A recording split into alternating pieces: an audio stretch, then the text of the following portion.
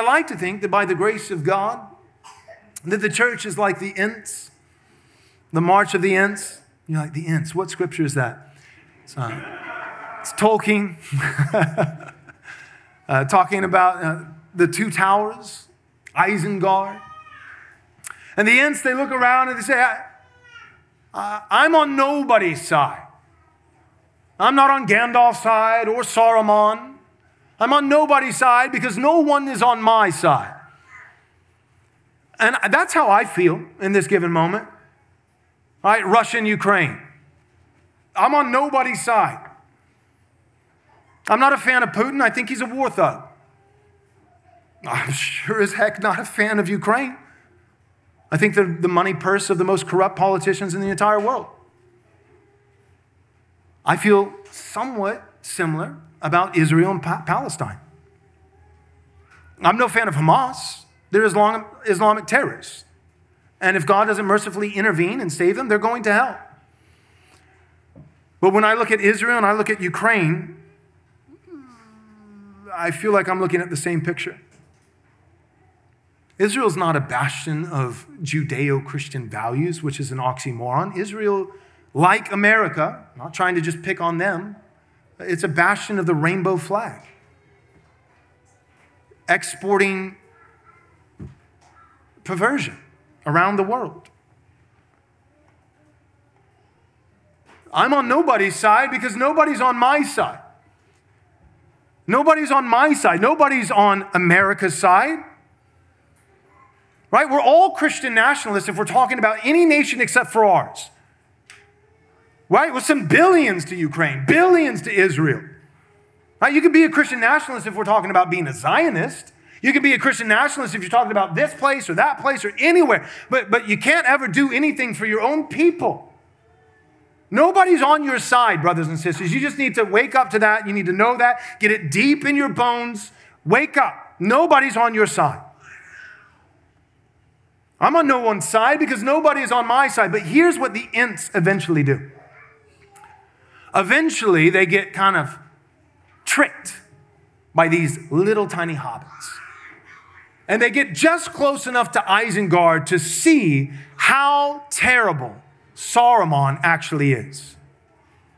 They get woken up, kind of like a 2020, 2021, 2022 kind of situation. They, they get awakened to see how bad trash world really is, how bad clown world really is.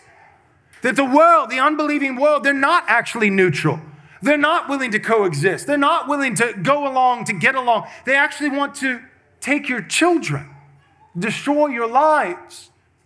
They hate every biblical principle. And then what happens is that when the Ents get close enough to Isengard to see what Saruman has done, uprooting other trees, their friends, and, and burning them, then all of a sudden they go into a righteous rage.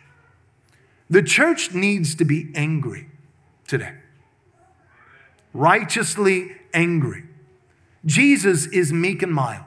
We want to look like him, but he's not only meek and mild. John chapter 2, Jesus was fashioning a whip with cords. He was throwing over the money changers' tables, releasing all the livestock, and whipping out these thieves out of his father's house. Get out of here.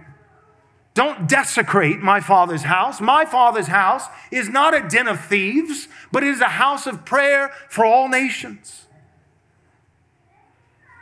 And I believe that as difficult as things have been, there is not only a silver lining, I think it's more than just that, it's an incredible mercy in the providence of God that people are waking up.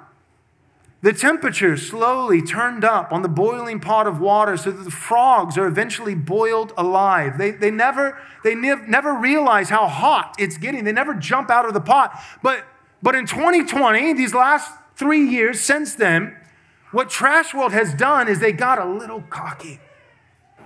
And they, they thought, you know what, we're already close enough. We can just, we can just finish it up. And they turned up the knob suddenly.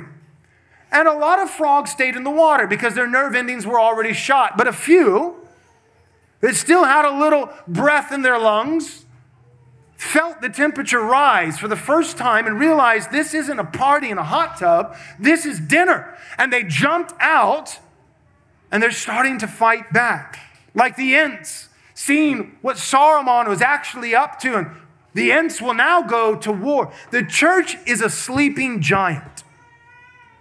The church is the most powerful, formidable force in all the world, in all human history.